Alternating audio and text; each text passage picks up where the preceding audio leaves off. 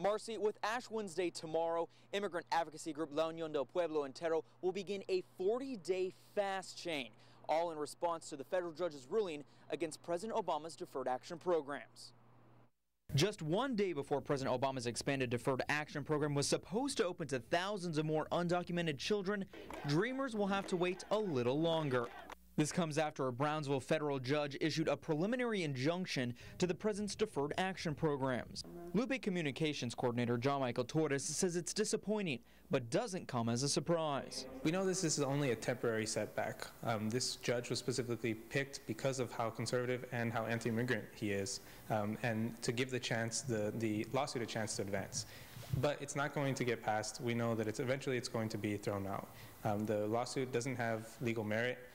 If DACA or DAPA is to go into effect before the federal case is heard, the Fifth Circuit Court of Appeals will need to act. We know that eventually people will be able to apply for these programs um, because there's nothing un unconstitutional about them. Um, but this, the longer that the Fifth Circuit uh, Court takes to decide on this matter, uh, the more confusion there's going to be in the community. Local state legislators are unhappy with the latest developments.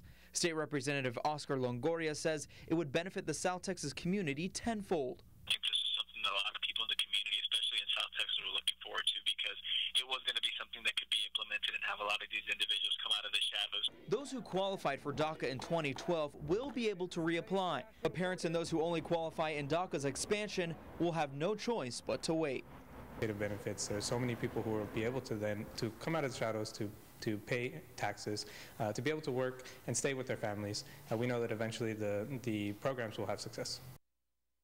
Lupe's members will begin fasting tomorrow morning and take turns for the next 40 days, ending on March 28th, the day of Lupe's annual Cesar Chavez March. Live in San Juan, Brett Crandall, Action 4 News.